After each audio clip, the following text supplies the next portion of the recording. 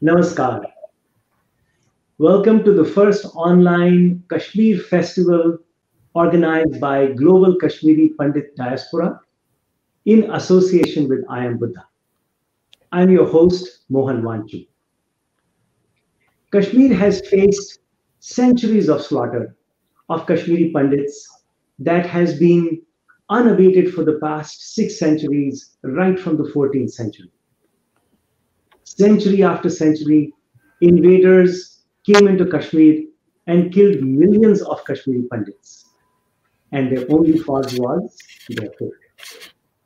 As a result, millions of Kashmiri Pandits had to flee from Kashmir to save their lives. There have been seven exoduses of Kashmiri Pandits over the past centuries.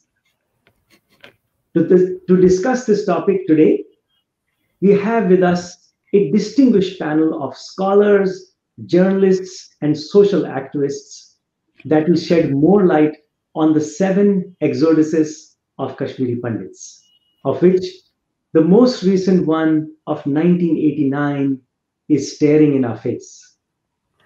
Our today's distinguished panelists are Professor Padma Shri K.N. Pandita. Professor Padma Shri K.N. Pandita has a PhD from the University of Tehran in Iran in the field of Iranian Central Asian Studies. He has traveled extensively in all the Central Asian republics during and after the Soviet power and cultivated a large number of scholars and academics in the field of Central Asian studies. He has 10 books to his credit, and the latest, just on the stands, is titled Kashmiri Pandits Through Fire and Brimstone. He is an awardee of the President of India for his services to Indo-Aryan civilization. He also won the Padma Shri Award from the President of India in 2017. As a human rights activist, he has been presenting the case of Kashmiri Pandits at the UN Human Rights Commission from 1991 to 2019, making interventions, submitting written statements, interacting with NGOs, and engaging experts in community debates and discussions on South Asian issues and connected matters. It is truly an honor to have you on our panel, Professor Pandita. Our next distinguished panelist is Professor Satish Ganjoo. Professor Satish Ganjoo has a PhD in modern chemistry, uh, modern history, I apologize, from the University of Kashmir. He has worked in Central University of Himachal Pradesh as chair, professor in the chair for tribal studies. Professor Ganjoo, an educationist by profession, a historian by obsession, and a researcher by choice, has published more than 21 books. Some of his widely acknowledged books include Kashmir Politics, The Islamic World, Kashmir History and Politics, and many more. Professor Ganjoo has been celebrated by many awards like Rashtriya Gaurav Award, Best Citizen of India Award, Vijay Shri Award, Leading Educationist of India Award, Dr. APJ Abdul Kalam Award, Dr. Shama Prasad Mukherjee Award, amongst many awards. Welcome to our panel, Professor Satish Ganjoo. Our next distinguished panelist is Ms. Aasha Khosa. Ms. Aasha Khosa was the lone woman to report terrorism and related events from Kashmir in the decades of 90s. A career journalist, Aasha has worked with national newspapers like Indian Express and Business Standard and other media for over three decades. She has won several awards for her Kashmir reporting in their respective books, General Krishna Rao and Lieutenant General Arjun Ray have mentioned her name for her daring and bold reporting during the peak of terrorism. She is currently working on her book on Kashmir. She lives in Delhi and is an independent writer. She works on, she writes on digital portals on Kashmir and Pakistan. Welcome, Ms. Aasha Khosa. Our next distinguished panelist is Mr. Jeevan Zutshi. Mr. Jeevan Zutshi is a community activist and is the founding member of the California chapter of Kashmiri Overseas Association, which is also known as KOA. He's a founding member, member of IAKF, FIA of Northern California, Gopio Silicon Valley, and Indo American Friendship Council. Mr. Zutshi is the author of a non-fiction, The Last Smile. The book is about a journey of hope. The independent feature film, The Last Smile, has received numerous awards in various continents and is available on Amazon Prime and some other online platforms. Welcome, Mr. Jeevan Zutshi. So first of all, on behalf of Global Kashmiri Pandit Diaspora and I am Buddha, I would like to welcome you all distinguished panelists to our session. Thank you very much for taking the time out of your busy schedules to participate in this panel.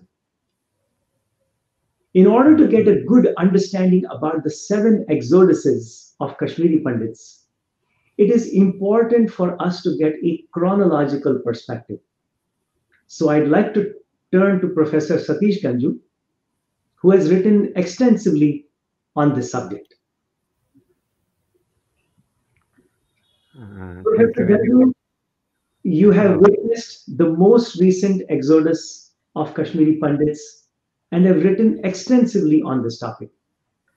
From times immemorial, invaders from Middle East and Central Asia have attacked India and ruled us for almost a millennium. The people of Kashmir had to face a very, very difficult decision of either to convert to Islam or to leave Kashmir or simply get killed. Can you please shed some more light on this very dark aspect of our history? Uh, please tell us how this all started, and how the Kashmiri Pandits had no other alternatives but to flee their state. Professor uh, Satish Ganjoo. Thank you. Thank you very much. So nice of you for your kind words. The seven exoduses of Kashmiri Pandits. This all started with when uh, Sahadeva ruled Kashmir in 1301 to 1320. Uh, two immigrants, I should say two refugees. Rinchan came from Tibet and Shahmir came from Swat. With the passage of time, all these, both these refugees manipulated things in their own interest. Uh, it was in 1320, the of Beast, when Rinchana became the king of Kashmir by some foul means and after becoming the king, he married the daughter of Ramachandra, who was the commander-in-chief of Sahadeva, uh, Kotarani. And he wanted to, because he had come from Tibet and he was a Buddhist, he wanted to convert to Hinduism, but Hindus refused to welcome him in their fold. So he had no choice but to become a Muslim and he ruled for three years up to 1323. Then there was Shahmir. Shahmir was a was a um, was a diplomat in the type. He was watching the events, what will be happening in Kashmir, and he manipulated the things in his own interest. He ruled. He also became a king and ruled Kashmir and ruled Kashmir from 1339 to 1342. This was the beginning of Muslim rule in Kashmir. Shahmir was a Muslim. He ruled Kashmir, and this was the beginning of Muslim rule in Kashmir and all of those dynasties. It was Sikandar, Sikandar Butshikan, who ruled Kashmir in 1389 to 1413, that all the uh, cruelties were inflicted on the Hindus. During this period, two, uh, two immigrants from Central Asia, um, Sayyid Ali Hamdani and his son Mir Muhammad Hamdani came to Kashmir. And they their aim was to convert Kashmir into a Muslim state. And they tried every effort, they made every effort to change the very society and culture of Kashmir. And with the help of Sikandar, they managed the event in such a way that Hindus were given only three choices uh, to convert, to die, or to leave, to go into exile. And they, this was the first exodus of the Hindus of Kashmir during the reign of uh, Sultan Sikandar. Then after uh, Sultan Sikandar, his son Ali Shah became the ruler of Kashmir. He ruled from 1413 to 1420 for six years only. He was he followed the policy of his father Sultan Sikandar and and inflicted every inflicted every uh, torture on the Hindus of Kashmir that they had to fly. They had to leave Kashmir. This was their second exodus. And then it was during the time of uh, Sultan Fateh Shah, Fateh Shah who ruled Kashmir in 1486 to 1493, that uh, the same torture was inflicted on the Kashmiri Hindus and they had to fled Kashmir for the third time. And these all these exoduses were during the reign of Shahmid, Shahmid dynasty. Then came the Aurangzeb. Aurangzeb, the ruler of India, the Mughal ruler, who appointed his cruel governors in Kashmir and who inflicted every type of torture on the Hindus of Kashmir, that the Hindus had to seek the help from um, Guru Tegh Bahadur. See Guru Tegh Bahadur and request him to save them, which resulted in the martyrdom of Guru Tegh Bahadur and the creation of Khalsa. This was their fourth exodus. And during the period of later Mughals, after Aurangzeb, same policy was applied to them, same approach, same um, Hindus were same given same treatment. They that um, they fled for the fifth time, and it was during the reign of Afghans.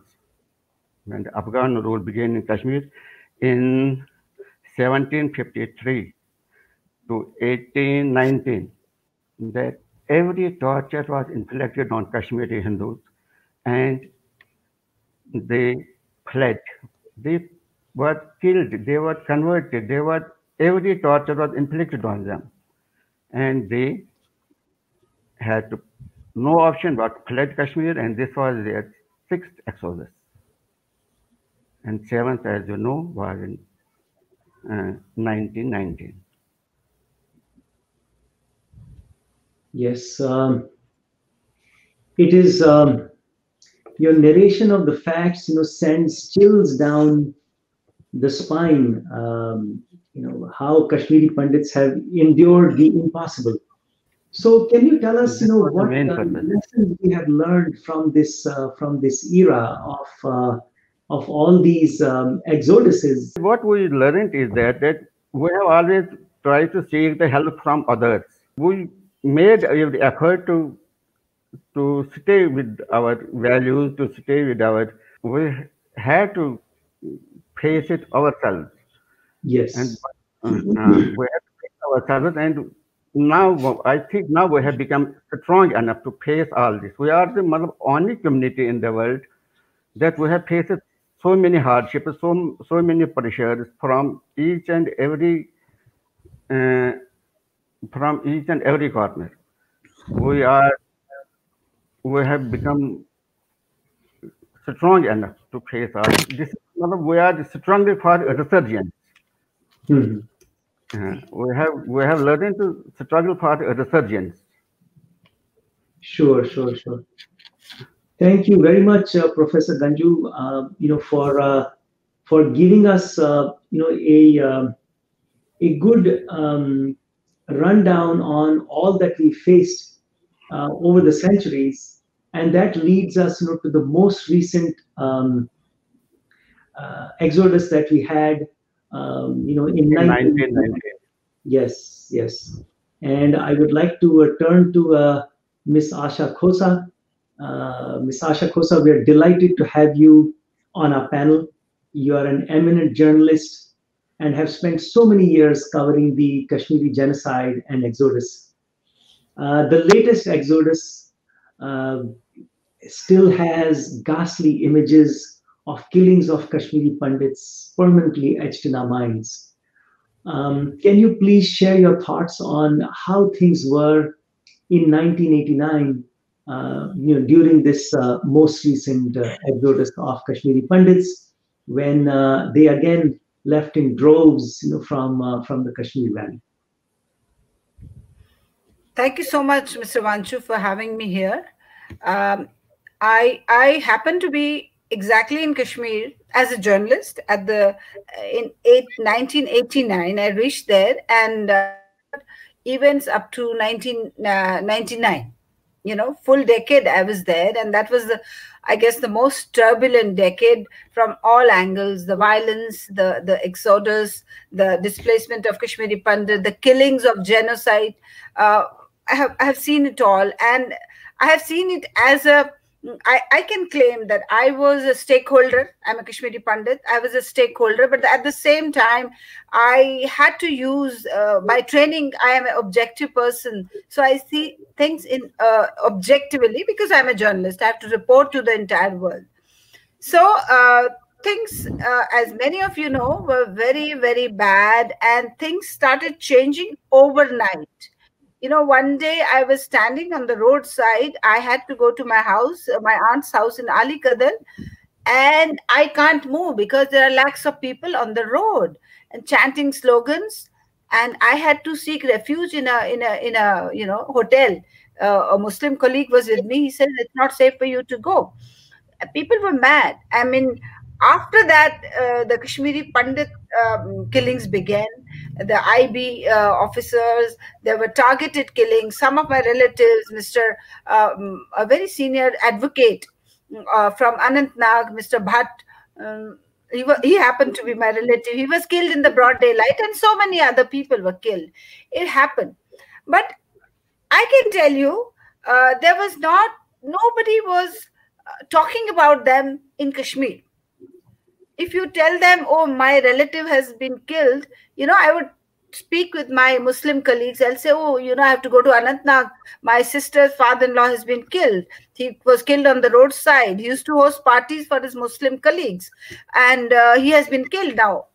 And they would say, uh, um, हम यहाँ मर रहे हैं तो तुमको उसकी पड़ी है हाँ चला गया चला गया you know there was total callousness they thought their tragedy or their uh, their, their movement they used to call it uh, tahrik tahrik they used to call it. Their movement is much bigger than killing of one person. There was no empathy from common people. They didn't bother about them. Uh, they were neither happy nor they were sad about such killings. They never thought that something big is happening. One was that. I've seen all. I've seen the Nadimarg killing.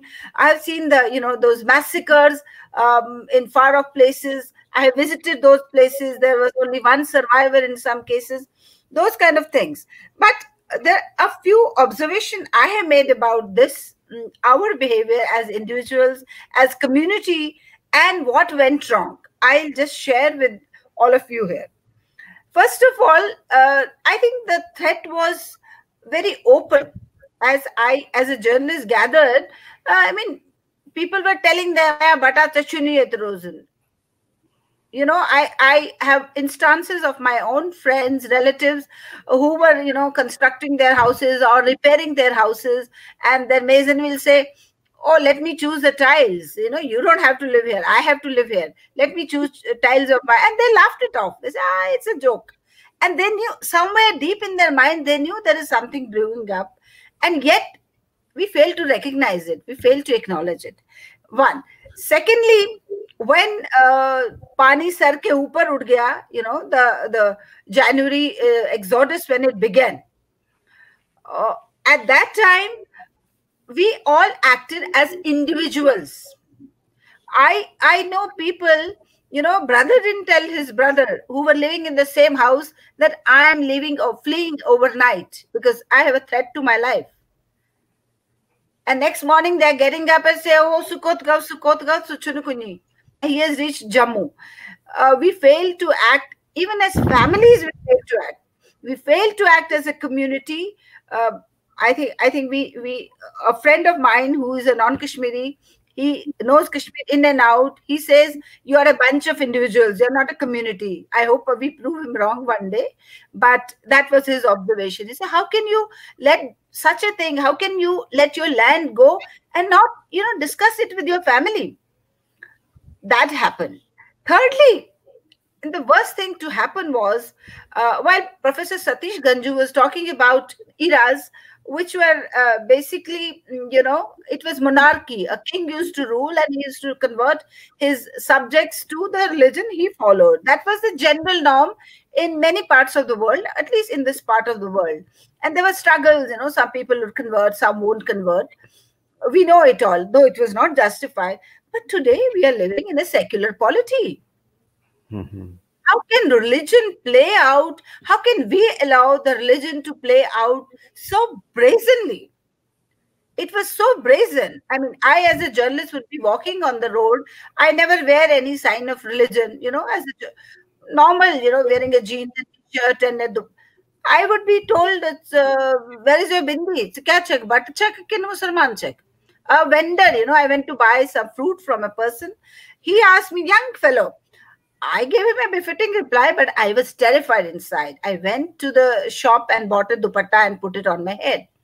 So it was happening in a uh, in a polity which is secular, and that is the shame for India. That is shame for all Kashmiris. How could that happen? And we must hold the ruler of that time responsible for it. Doctor Farooq Abdullah very very conveniently वो दुम दबा के भाग गए he just left us alone to struggle to to survive and he would blame us he he never you know felt responsible towards us i also feel that we don't we never enjoyed political clout with anybody in kashmir we were not present in any of the political parties. Not that they were very safe, but nobody spoke about us. That was the worst part at that time, you know. Nobody will talk about our killing, our exodus, and they'll say, ha ha, they have gone. I'm talking from Kashmir's perspective. They say, oh, they have gone there, they're getting all bata, they are getting all, you know, uh, paisa mil raha unko, they are living a luxurious life. That was the narrative in Kashmir. And that is a narrative with which the young people of Kashmir, you know, sons and daughters of uh, people who were adult that that time, they have grown up with. So one was that. Another point that I I think uh, what happened and what I felt very bad looking from Kashmir was any time a Kashmiri Pandit, professional or a common man will be killed, the people living outside they never protested in the manner they should have protested. They should have shaken India because they were living in India, which was not like Kashmir. You know, they should have shaken up. The example I'll give you um, uh, the Doordarshan director, he was Lassa killed. Lassa Kaul was killed. And if you listen to the story, uh, there was not even a priest to carry uh, his, uh, you know, uh, carry out his um, last rites a, a priest had to be brought from the army. And the, uh, there was an army colonel who was in mi uh, he was from south. He told me what a shame for you. You are a kashmiri pandit community. You don't have a pandit here.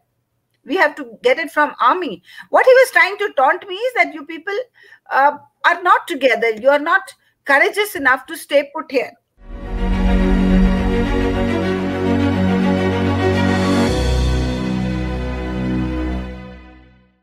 I have the distinct honor of turning to Padma Shri Professor K.N. Pandita, who has been doing pioneering work on bringing the plight of Kashmiri Pandits to the forums in United Nations, the United Kingdom Parliament, and the European Parliament. Padma Shri Professor K.N. Pandita, it is my honor to have you on this panel to be speaking with you.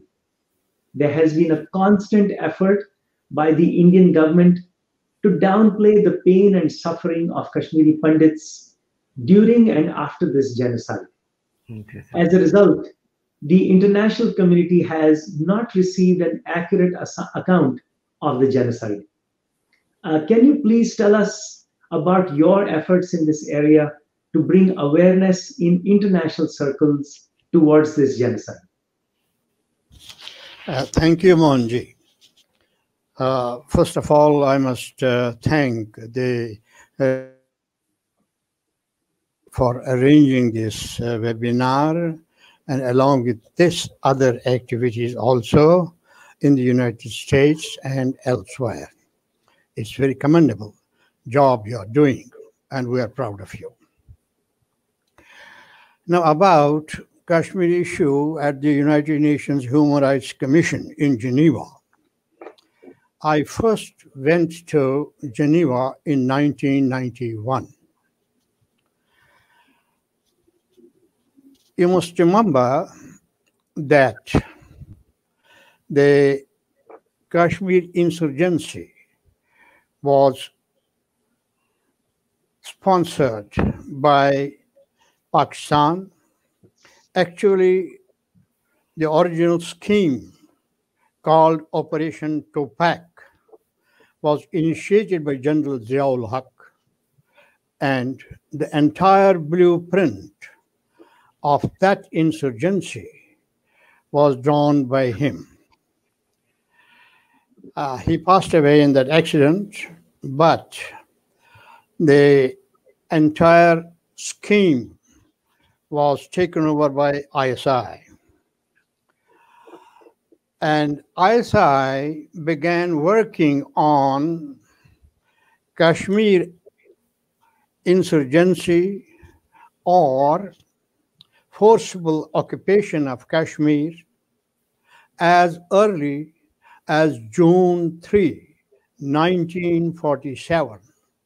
That's at least several months ahead of the transfer of power on 15th August we have detailed reports of what activities were undertaken by the Northwest Frontier Chief Minister Qayyum Khan and the British Governor of Northwest Frontier Town of how they were going to uh, proceed in this case of invasion of of uh, Kashmir in 1947.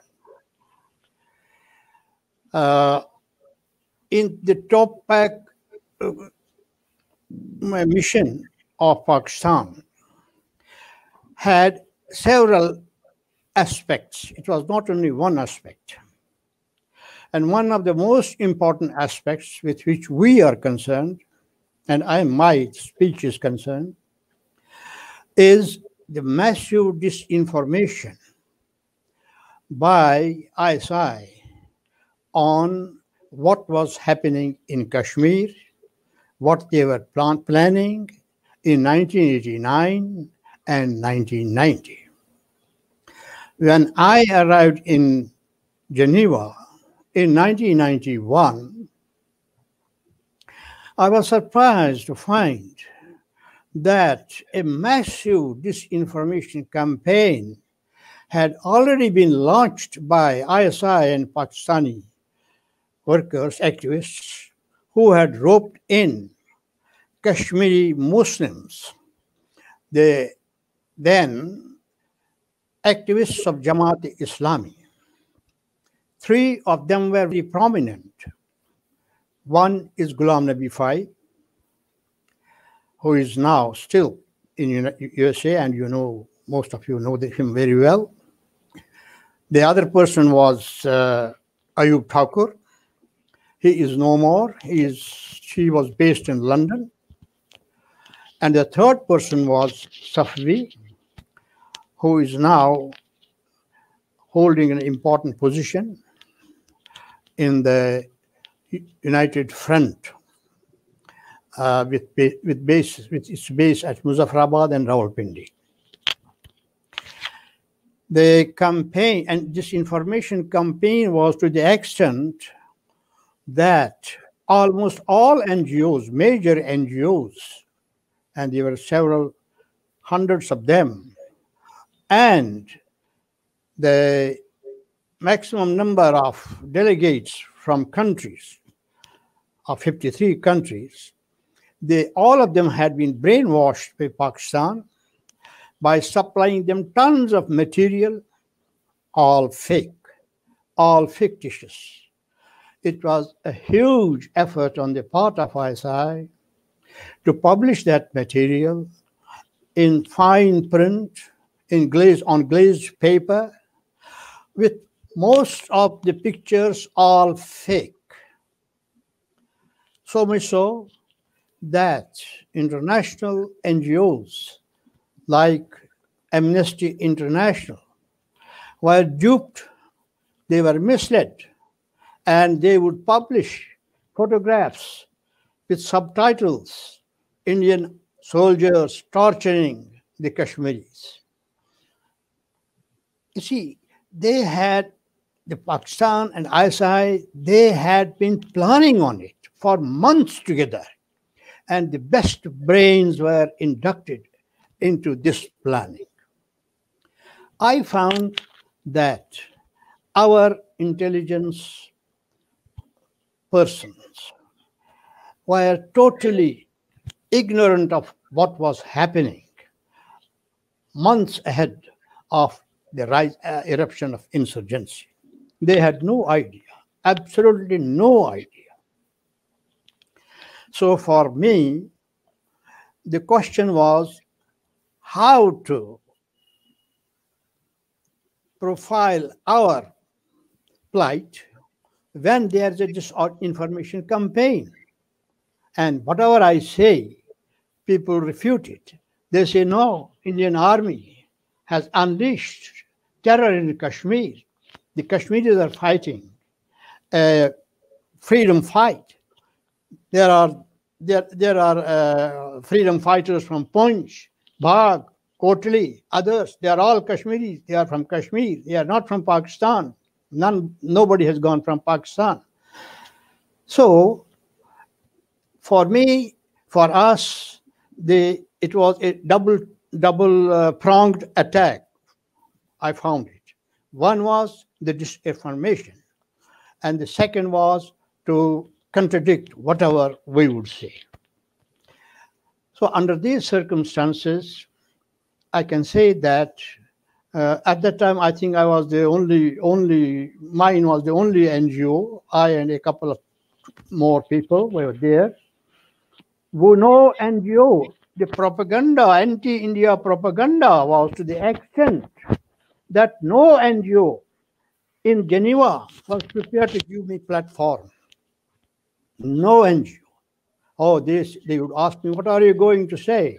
I said about Kashmir, about the attack on the minority, about the killing, murder, genocide, extirpation of the uh, minorities. No, no, no, no, we're not going to give you platform for that. So I wouldn't get even the platform. And the Indian mission never cared to come to my rescue, to guide me, or to help me in finding a platform. On the other hand, the Pakistani intelligence agencies, ISI, they would manage at least half a dozen platforms for their people. And they would speak from different platforms, speaking the same thing, but from different platforms. So thereby, in, in this way, they, uh, they, they indoctrinated the entire house, entire uh, human rights uh, council at that time. Now, under these circumstances, it became very difficult even to, to me interact with the people outside the session. Going inside the session was not at all possible, but even outside the session, it was difficult for me. Finally, uh, an African NGO came to my rescue. I managed to approach an African NGO chief. His name was Samura. He asked me, "What, Professor, what are you going to speak about?" I said, "About the refugees, about the about the internally displaced persons. How many of them?" I said we are nearly four lakhs. He said, "Look, my friend, we have 40 lakhs of internally displaced people in African countries, and I'm representing them. So I have a very big job to do. I told him, okay, add four more lakhs to your quantum, quantum of refugees. So he was very kind to me and he gave me the platform for the first time. And when I made an intervention, my first intervention, these Pakis, their stooges, the Kashmiris, they all were mad with Samura. Why did you allow him the platform? So that was the situation. That was the uh, that was the atmosphere in Geneva at the time. I sought interview with the secretary and I wanted to tell him that here was a large disinformation campaign, and this was not the truth.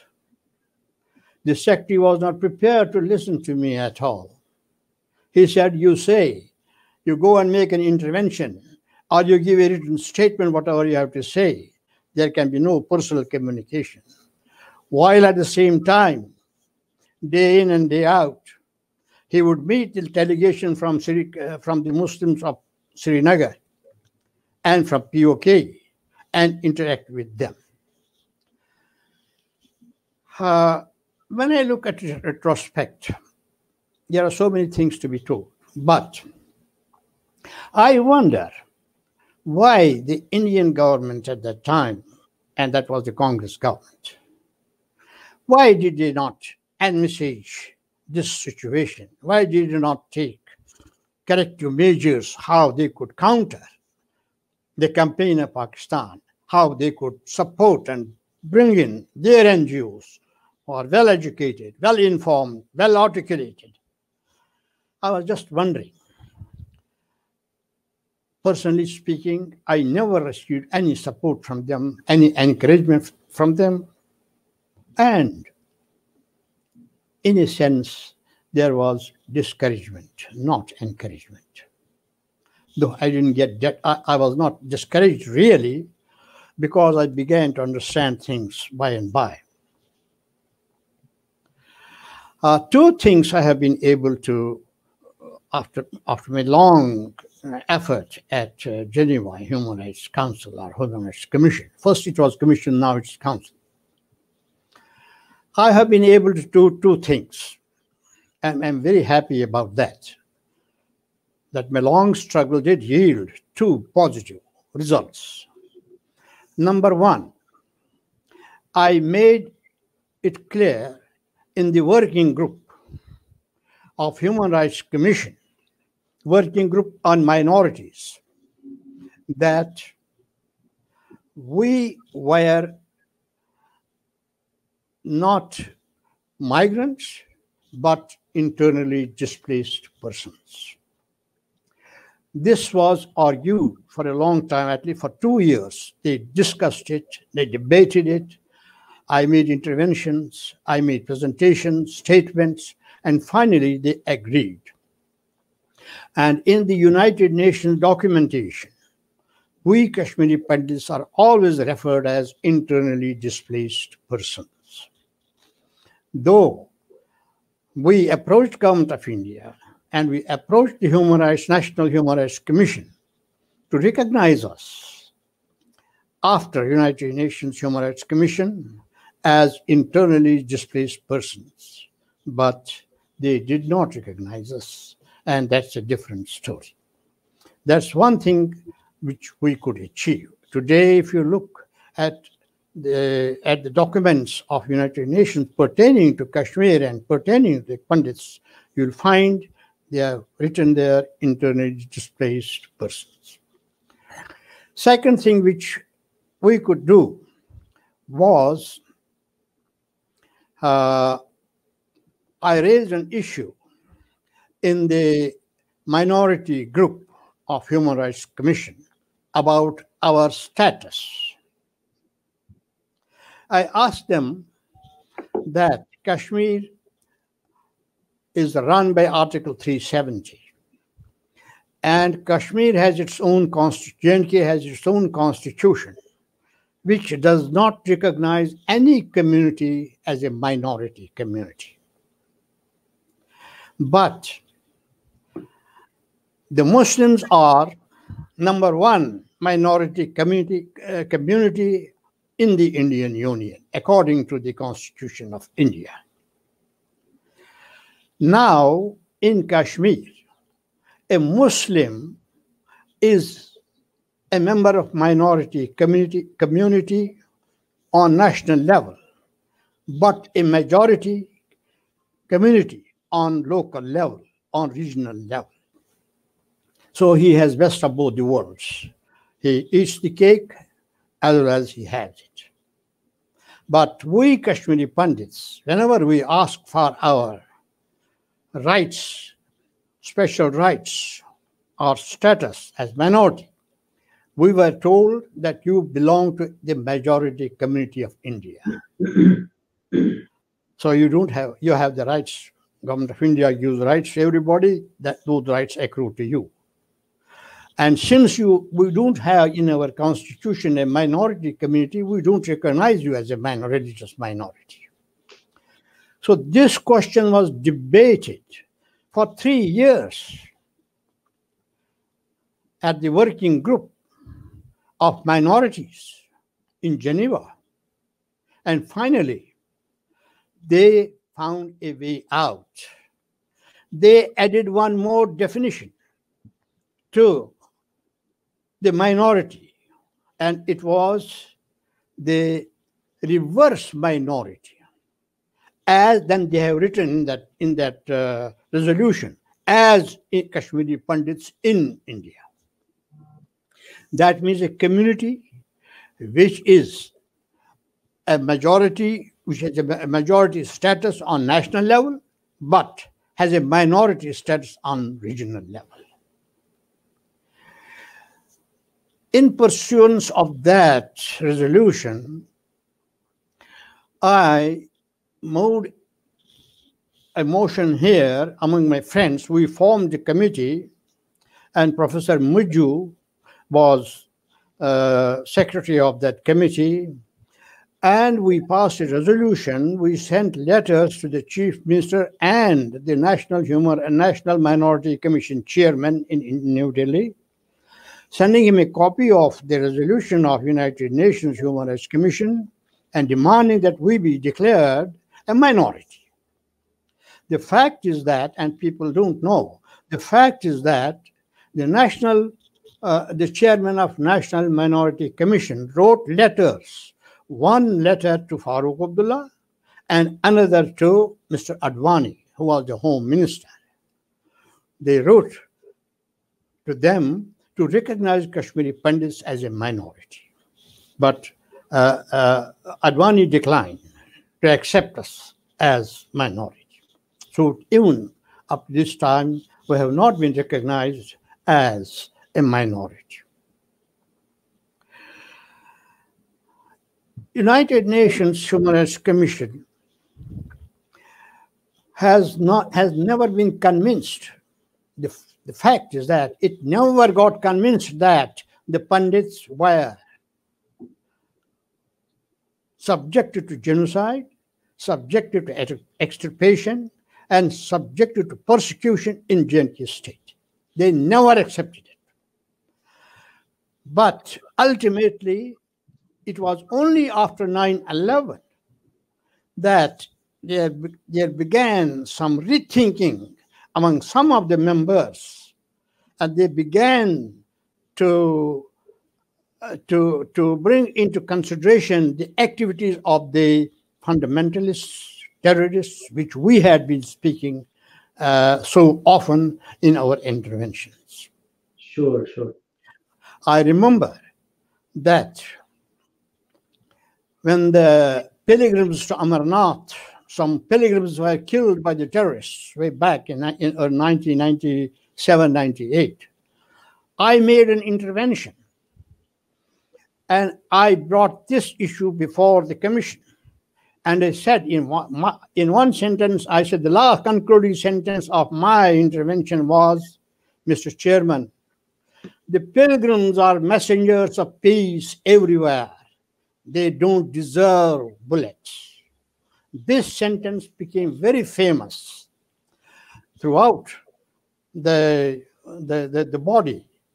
And then there was a great response to that. From that time onwards, people began to respond to my and I remember that when I would make interventions, I had to print at least 200 copies of my speech, and people would take them immediately, like hot, hot cakes, it would be distributed among the members.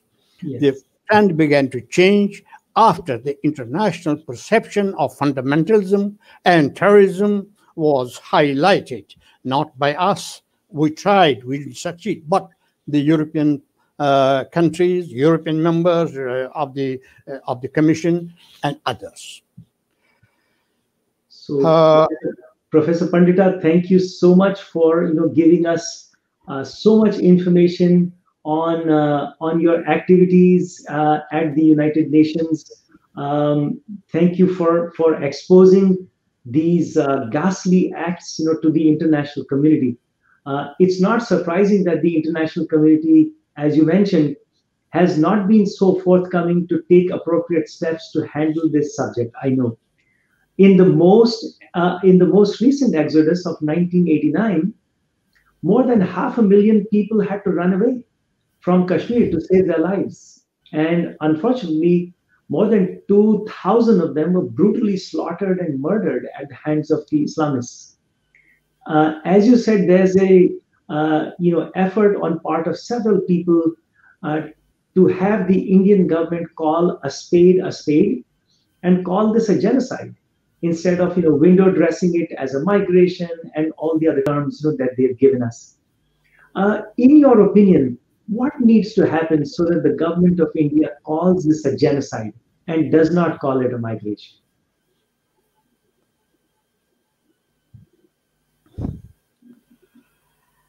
Uh, you see, our issue as such has been politicized. The, the, the, the crisis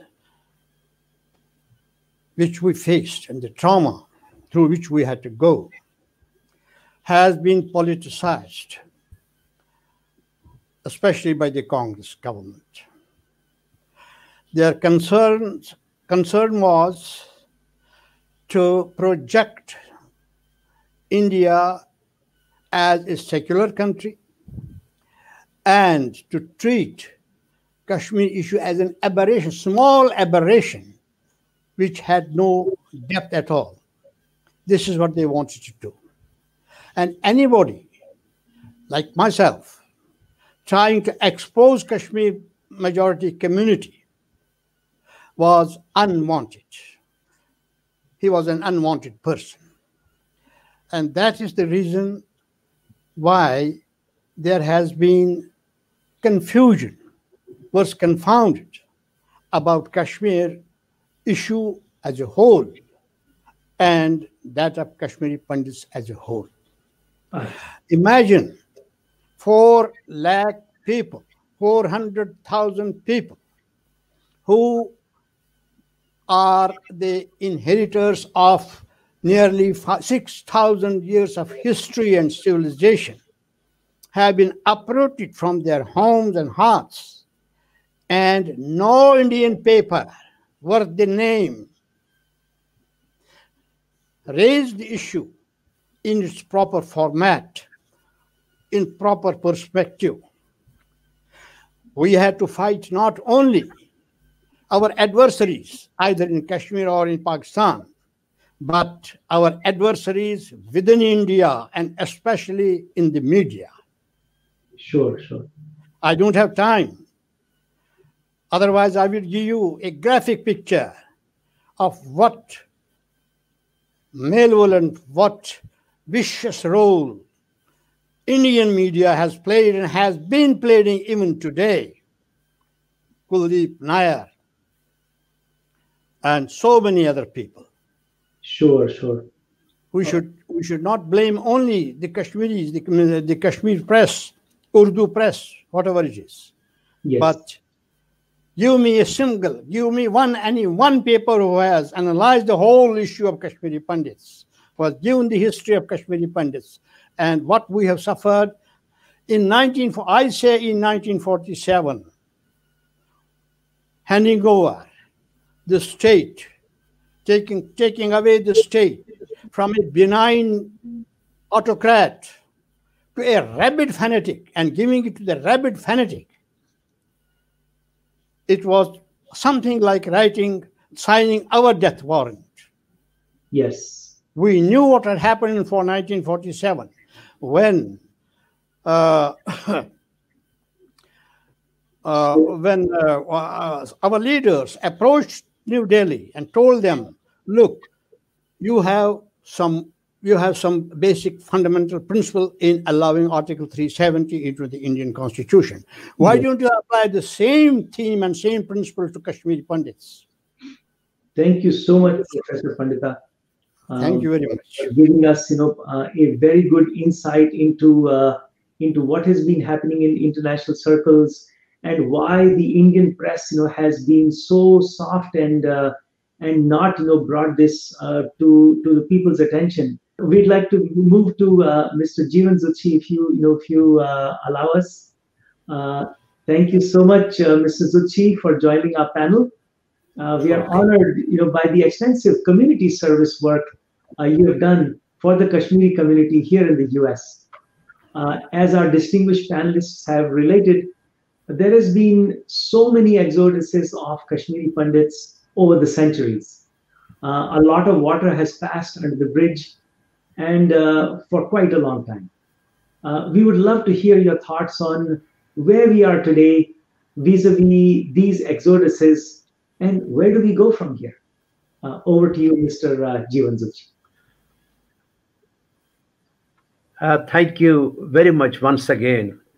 And right now, after listening to our Padam Shri uh, Pentasa, I was reminded of uh, 1992, and it was the same month. Well, it was 15th November 1992 when we had the honor of having him as a keynote speaker. And the chief guest was uh, uh, Balraj Madhok. And uh, I convened a symposium here on human rights. Uh, I remember uh, Mr. K. N. Pandita's speech was as powerful as it is today.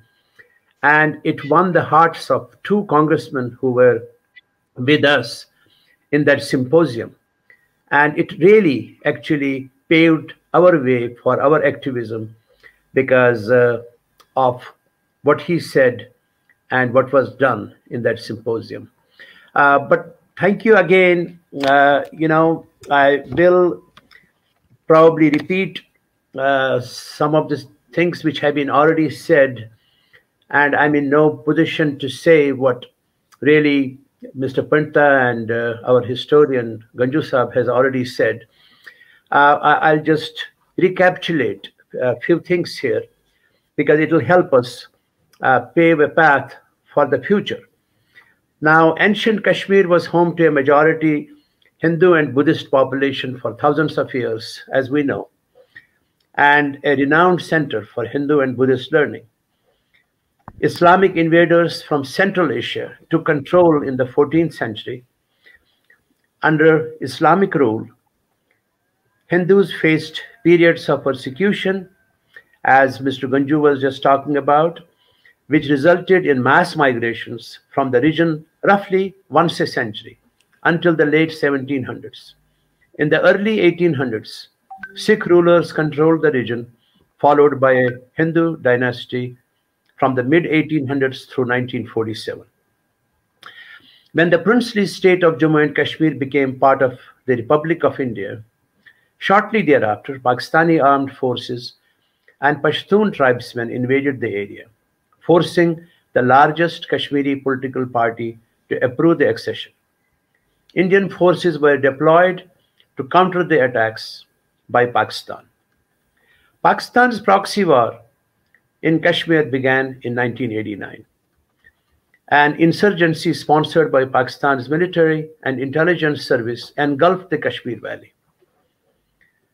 The ISI supported jihad in Kashmir was rooted in the ideology of Pakistani Islamists, carefully nurtured for decades by the Pakistani military, as uh, uh, Mr. Pandita just mentioned the ISI. And the beautiful valley of Kashmir became a bed of Islamic terrorism, as we know, and the campaign of intimidation and harassment worsened in the late 80s with growing influence of the straight-laced interpretation of Islam propagated through Wahhabism. To completely Islamize Kashmir, Pakistan was able to capitalize on this by financing, arming, and training militant groups across the border and ethnic cleansing of the Kashmiri Pandits was undertaken on January 19, 1990. Many secular Muslims and intellectuals who did not become part of this campaign were also killed. Between 1989 and 91, over 350,000 Kashmiri Pandits were ethnically cleansed from the valley, which is over 95% of the valley's indigenous Hindu population in a campaign of targeted killings, rape, threats, destruction of properties, and religious sites.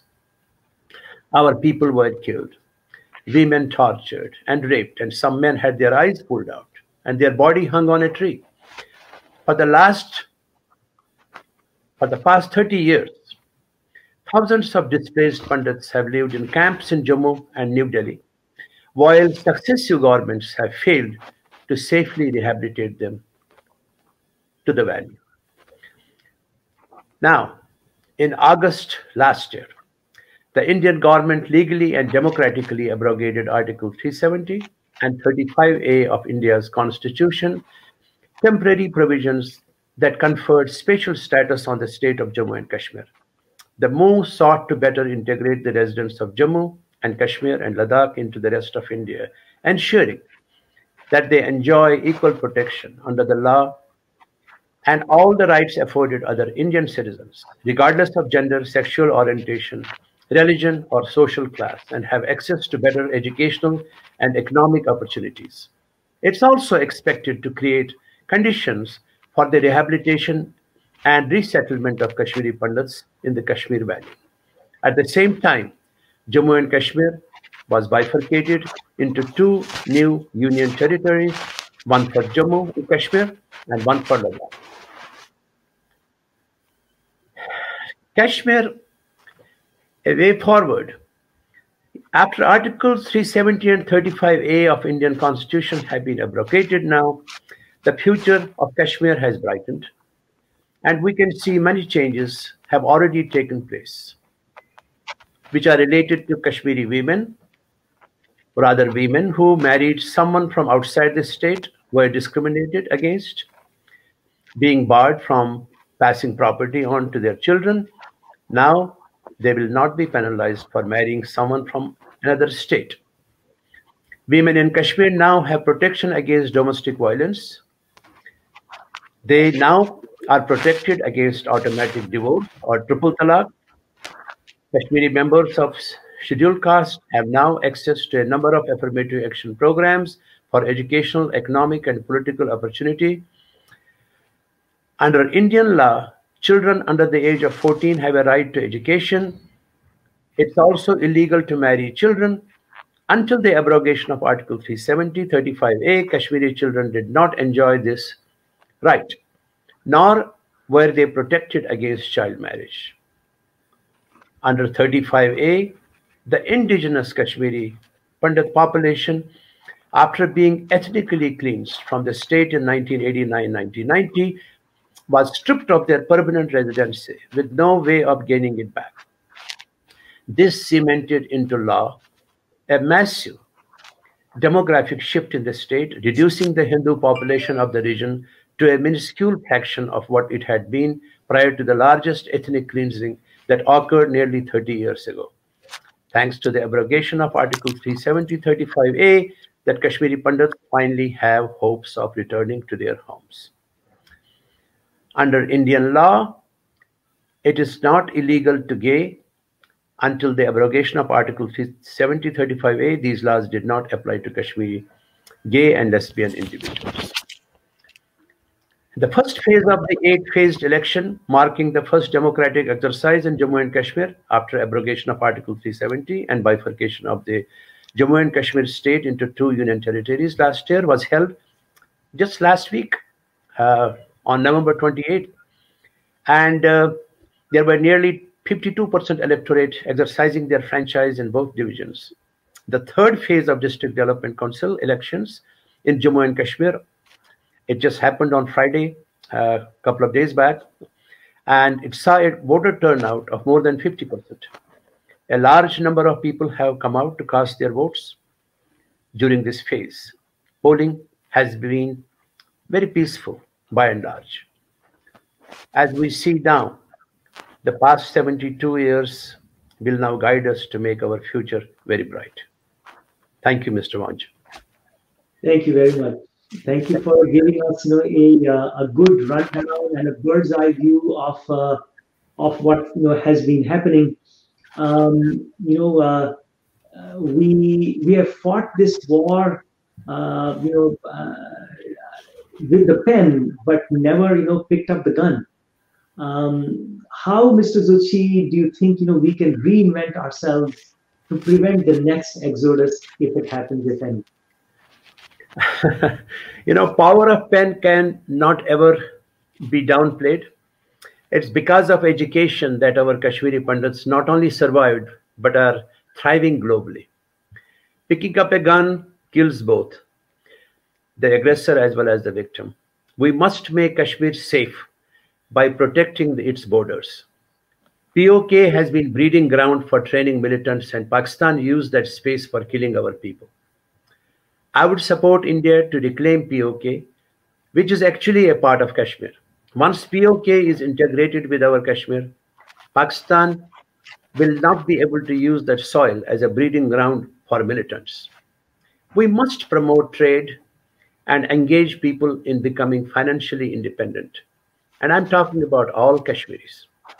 Moving forward, we ask citizens to create harmony and live within the confines of law. We must promote pluralism in the state so that all communities can live together as they did before the connivance of local government and Pakistani trained militants who created mayhem and forced Kashmiri Pandits to leave Kashmir. The simple and most important message that flows from this step is to foster peace and development, as also to marginalize those who promote division and bolster a culture of rebellion.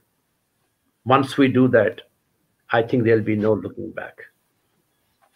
Thank you, thank you so much, uh, Mr. Zutshi, for uh, for giving us, you know, a, a very positive uh, uh view of the situation and you know what we can look forward to um, so with that, ladies and gentlemen, uh, we come to the end of this episode. Uh, on behalf of uh, Global Kashmiri Pandit Diaspora and I am Buddha, I wish to thank you all, the distinguished panelists, for joining our session. And thank you, viewers, for patiently attending our session. Until then, until next time, take care and namaskar.